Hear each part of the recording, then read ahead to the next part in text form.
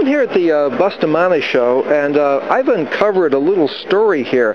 Now, Ann Slater, who's famous for tole trays, is that uh, she is now verging into what is customarily male territory, and she's going to be selling postcards.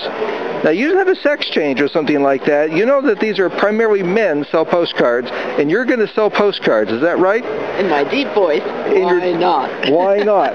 and so, what uh, what inspired you to sell postcards? I like them. You like them, and what is it about postcards that you like? I like the way they're printed. They're the old chromolithograph. The chromolithograph. Well, she knows she knows all the terminology. Now, what does chromolithograph mean? Well, it see the little dots. Yeah, I'm. little yeah, dots. I'm, I'm pretending the I see them. I don't have my glasses on. Printing process. My God, yes. Look at those dots. Boy, they must be. Is that an 85 line screen?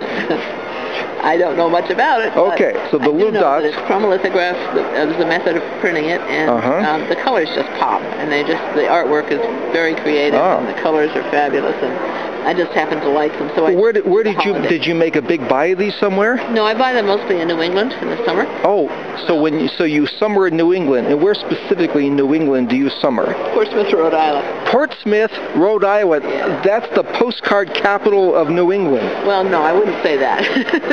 I wouldn't go that far. But that's where my headquarters are. Oh, that's where your headquarters. I do holidays, which are George Washington, and Easter, Valentine's. And I see we have uh, this uh, George Washington. Now, are they signing an important paper or something like that? Is that what they're doing? Like they ought to be. Yeah, I bet they are. Yeah.